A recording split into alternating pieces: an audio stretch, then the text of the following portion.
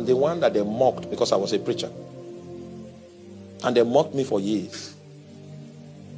Because when I was three years, four years, I used to read the dailies, I used to read newspapers and argue politics.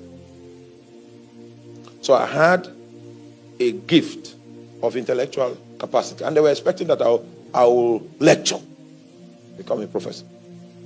And indeed, I was ready to do that. Then the Lord now said that of all the things written concerning you, lecturing is not one of them. I said, What? So then they now heard that I was a preacher. Okay. So at the end, you became a preacher. So, and I had no nothing to show them that it was a good part. You know, don't try to explain yourself to anybody. Eh? Okay? don't you don't you are you are relieved from that responsibility. It was an honor that God did.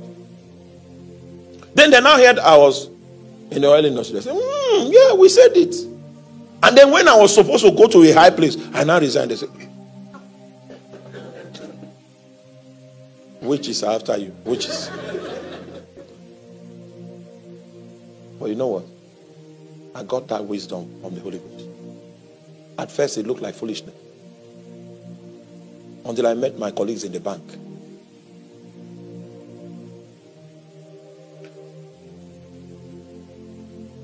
Then I realized I left at the right time.